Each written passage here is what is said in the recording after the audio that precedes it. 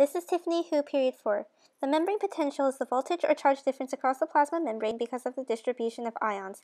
The resting membrane potential is established when the potential is about from negative 60 to negative 80 millivolts.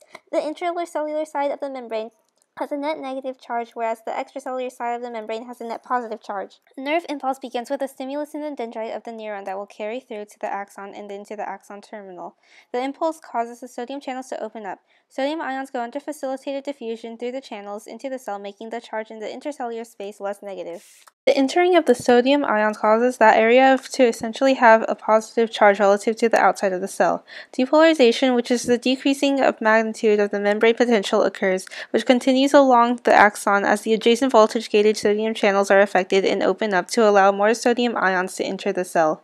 This continuous movement of making the intracellular space positive relative to the extracellular space is action potential.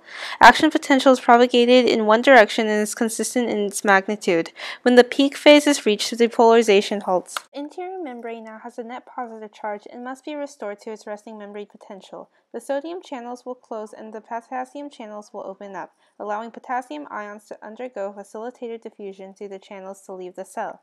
This will repolarize the cell. The net negative charge inside will eventually be restored.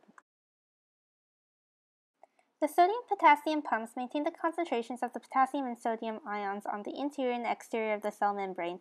Unlike the sodium and potassium channels that involve facilitated diffusion where the ions move along its concentration gradient, sodium-potassium pumps involve active transport, which require the input of energy as ATP because the ions are moving opposite of the concentration gradient. For the sodium-potassium pump, an ATP molecule and three sodium ions attached to it. ATP undergoes hydrolysis, which results in ADP breaking off, leaving the phosphate on the pump. The pump changes shape, the sodium ions are released. The shape of the pump now has a shape complying with the potassium ions. Two potassium ions attached to the pump. The phosphate is unattached and the pump changes shape back into its original state, allowing the potassium ions to enter the cell. Uneven set of three sodium ions leaving the cell and the two potassium ions entering the cell enables the cell membrane to maintain its resting potential of a negative internal charge and a positive external charge.